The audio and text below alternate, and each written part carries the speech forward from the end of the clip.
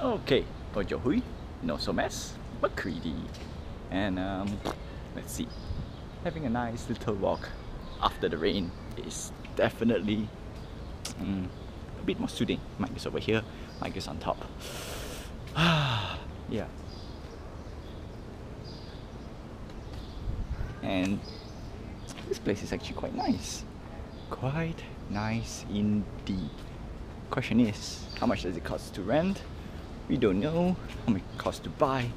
Also don't know. But it's actually quite nice. Like, okay, ground floor, then you can go up this top, and then this is basement unit. Yeah. Okay. Anyway, first to clear the most important thing. Hold on a sec. That's definitely a basement unit. Definitely a basement unit. Hmm. Okay.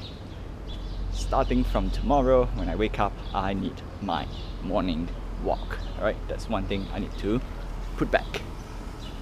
Ah, aircon, something I want. And then secondly, I know it's a bit tough, but I need to commit, not say commit. It's a working day, so that's one. But I have no work, so that makes it a bit difficult.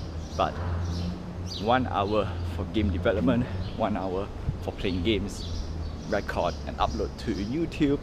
So that's mandatory. So morning walk plus two hours of slotted time. Uh, hopefully this will be done in the morning. I need to plan this out. And then after that, anything goes above that two mandatory hours would be free to do whatever I want. Uh, of course, more time put to game development would be nice, but yeah, I need to get back.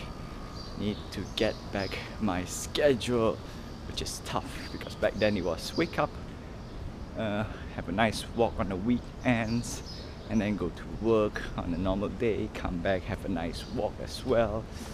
And then things get pretty much jammed up when I keep adding activities upon activities upon activities.